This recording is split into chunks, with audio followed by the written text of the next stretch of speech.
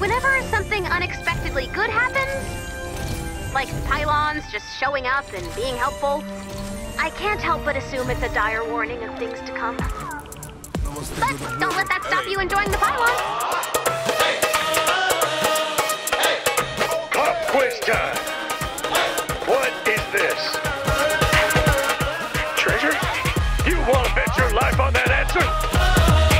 Yes? Congratulations! to shreds by a mimic.